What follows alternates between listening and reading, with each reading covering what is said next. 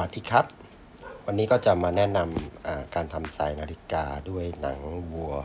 ฟอกฝาด เป็นหนังอิตาลีนะครับ นี่ตามที่เห็นนี่นะครับ เป็นหนังอิตาลีนะครับ ก็ที่ตรงนี้นะครับ ทางลูกค้าก็สั่งมาให้นะครับ สั่งมาให้ลองทำดูนะครับ เป็นหนังฟอกฝาดอิตาลีนะครับ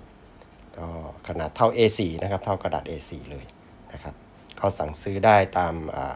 ช้อปปี้นะครับ A4 นี่ก็ราคา 650 บาทนะครับ ราคาค่อนข้างแพงนะครับ ค่อนข้างแพงเพราะว่าเป็นหนังอิตาลีนะครับ ค่อนข้างสวยงามมากนะครับ นี่นะครับก็แกะออกมานะครับ จะเห็นว่าเป็นหนังที่สวยนะครับ มีลายออกลายคล้ายๆ ลายลิ้นจี่นะครับ ก็มีความหนาประมาณหนึ่งนะครับ เริ่มต้นนะครับเราก็จะต้องสร้างแบบก่อนนะครับ สร้างแบบ ผมก็เลื่อนเวลานะครับนี่คือสร้างเสร็จแล้ว ก็หูสายข้างบนนะ21มิลิเมตรนะครับแล้วก็ปลายสาย 18มิลิเมตรยาว 13มิลิเมตรนะครับ ส่วนอีกข้างหนึ่งก็คือยาว 6.5มิลิเมตรนะครับ 6.5เซนติเมตรนะครับ น่าจะเซนติเมตรนะครับ ยาว 13 เซนกับ 6.5เซนติเมตรนะครับ เขียนผิดนิดหนึ่งนะครับ หลังจากนั้นนะครับตัดแบบออกมาครับ แล้วเราก็มา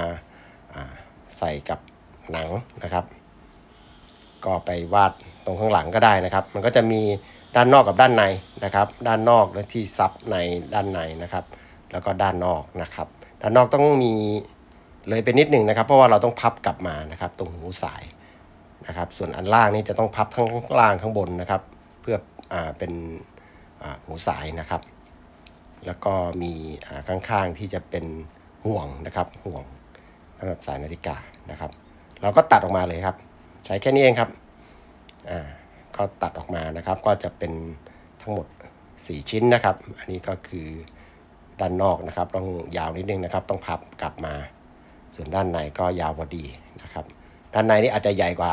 ด้านนอกก่อนนะครับ เพราะว่าทีหลังเราก็สามารถตัดออกได้นะครับ ด้านนอกนะครับ ด้านในก็ต้องประกบลงไป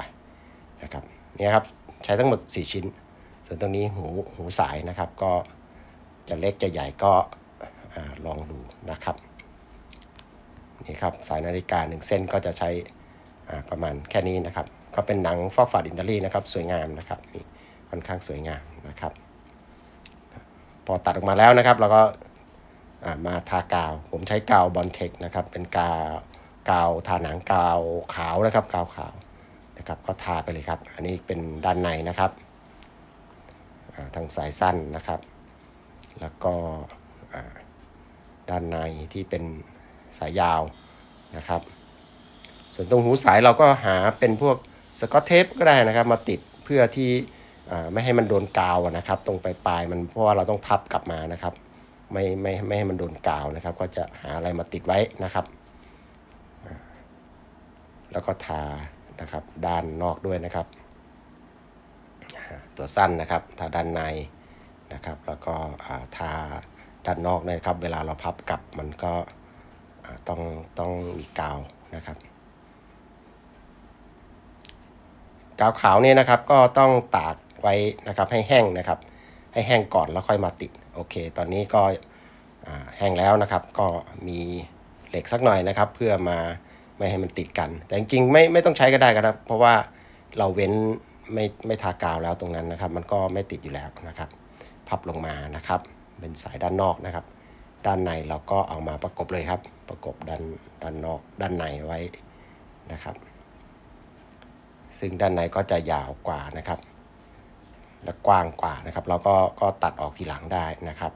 ก็ใช้ไม้อะไรมากดให้มันติดกันให้ให้สนิทนะครับก็ติดกันนะครับ เราไม่ต้องใช้เหล็กก็ได้นะครับ เพราะว่า เราเว้นระยะไว้แล้วนะครับ เราไม่ทากาวช่วงหนึ่งนะครับ จะเห็นว่าด้านในมันจะใหญ่กว่าด้านนอกนะครับ เดี๋ยวเราก็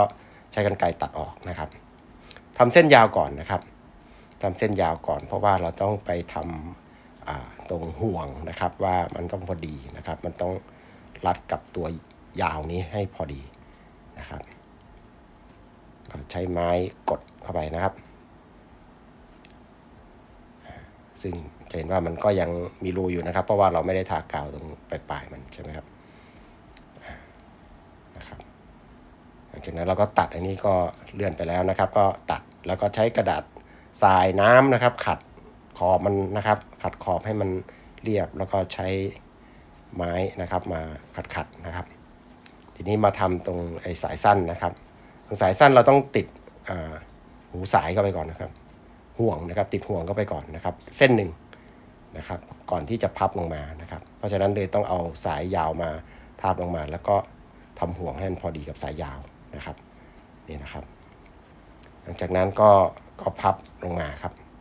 พับปิดกับห่วงตรงนั้นไปเลยนะครับ ห่วงเดียวนะครับ แล้วก็อีกด้านหนึ่งนะครับ หลังจากนั้นก็ตัวด้านในมาปิดทับลงไปนะครับ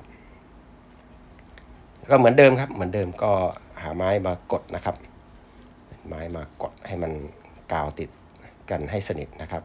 กาวขาวอย่าลืมนะครับ กาวขาวมันต้องให้แห้งนะครับ คือทาแล้วต้องทิ้งไว้ประมาณ 30 นาทีนะครับถึงเอามาติดกันนะครับผมก็จะกดกดออกนิดหน่อยมันมีกาวติดข้างนอกนะครับ พอเราใช้ไม้กดมันก็จะออกไปนะครับ มันก็ไม่มีปัญหานะครับ หลังจากนั้นก็ตัดนะครับ ตัดออกทีนี้สุดท้ายนะครับ เราต้องมาเจาะรูเพื่อที่จะ เย็บสาย แต่ตรงนี้คือเย็บเย็บแบบสปอร์ตนิดนึงนะครับ เย็บแค่ข้างบนกับข้างล่างให้มี แค่เป็นเป็นเส้นได้นะครับนะครับ อันนี้เป็นเชือกอเขาเรียกว่าเชือกขี้ผึ้งนะครับ ก็มาเย็บนะครับก็คือใช้เหล็กแหลมเจาะก่อนนะครับ แล้วก็ เย็บนะครับ เย็บเข้าไปนิดเดียวนะครับ แล้วก็สองรอบนะครับข้างบนนี้สองรอบก็พอนะครับ แล้วก็มัดกันนะครับ มัดเสร็จก็ใช้ไฟนะครับลนนะครับแค่นั้นเองครับก็เสร็จแล้วครับเสร็จแล้วนะครับ ก็จะได้สายนี่นะครับสายอออกแนวสปอร์ตนะครับ